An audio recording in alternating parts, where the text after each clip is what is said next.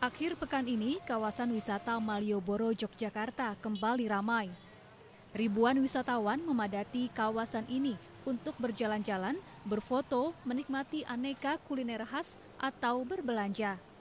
Situasi lalu lintas pun padat dengan meningkatnya volume kendaraan.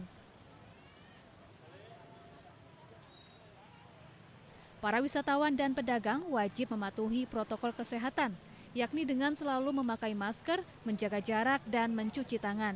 Dibukanya kembali objek wisata Malioboro ini disambut baik para pedagang. Omset mereka pun kembali naik hingga 75 persen.